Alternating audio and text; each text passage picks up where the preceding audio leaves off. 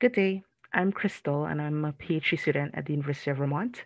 I'm currently doing research on provable fairness, differential privacy, and machine learning, advised by Dr. Joe Near. One large problem is that currently many of our metrics for fairness in deep learning use the average fairness for a group, so that for some individuals, these definitions result in really unfair decisions. Some of the existing mitigation practices would allow you to have blatantly unfair predictions for certain individuals as long as the average fairness across a group is okay, and we want to detect some of those outcomes. As we continue to see deep learning models being used in automated systems for hiring, firing, and providing risk assessment for individuals, we want to make sure that we can say that the prediction by these models was based on the individual and not solely their affiliation with a particular group.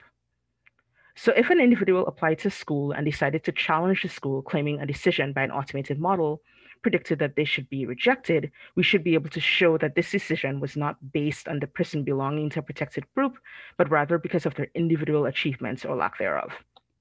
So in this paper, which is um, by Zachary Lipton et al., we see a teal line showing a model trained normally and the blue dash line showing a fairness mitigation.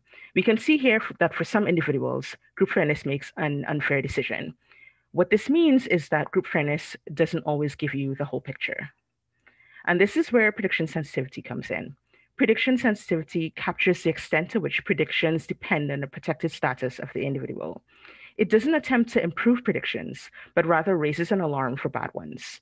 It draws upon differential privacy by drawing on the concept of function sensitivity used in differential privacy.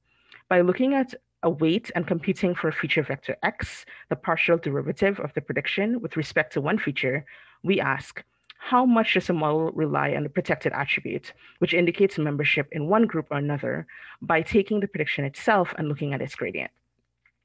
In prediction, the gradient determines how the model weight should be moved to reduce the loss. We're asking the question how the prediction would change if the person were a member of the group or, were not a member of the group they're currently a member of. So if we move them from an, an advantage to a disadvantaged group, how much has our prediction changed? And we do that by looking at the gradient of the prediction itself with respect to the protected attributes that indicate membership in one group or the other. The gradients of the prediction may not be smooth at a particular point and may not indicate what happens in the neighborhood of that point.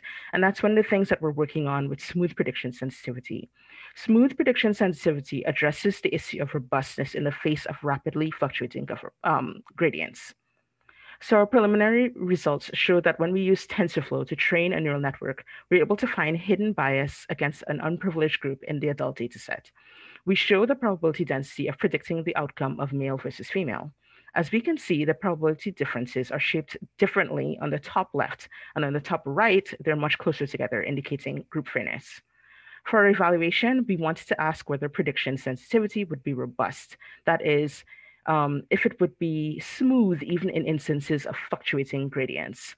The gradients of a prediction may not be smooth at a particular point and may indicate may not indicate what happens in the neighborhood of that point.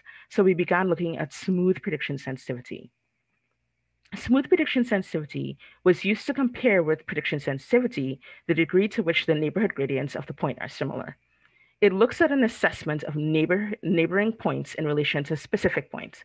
Our results seem to show that prediction sensitivity already is fairly smooth and may be effective in detecting unfair predictions, even where other metrics aren't showing unfairness. So we're still looking at this research as there are some things that we have to consider. One is that there's no ground truth for fair or unfair predictions, and there's no single measure that captures our, our intuitive notions of fairness. Secondly, so far our data sets have used explicit protected attributes, which means that we have explicit categories for gender and race. How does prediction sensitivity work for data that doesn't have these, such as in text data? We're still working on that. So in summary, we created prediction sensitivity, a measure of auditability for individual fairness in deep learning. We're currently working on this research, but we see that in the future, it may be important for evaluating the degree to which an individual prediction is fair or unfair based on how it is affected um, by belonging or not belonging to a group. Please feel free to read the paper, which we presented at M2L 2020 and at AFCI at NeurIPS 2020. Thank you.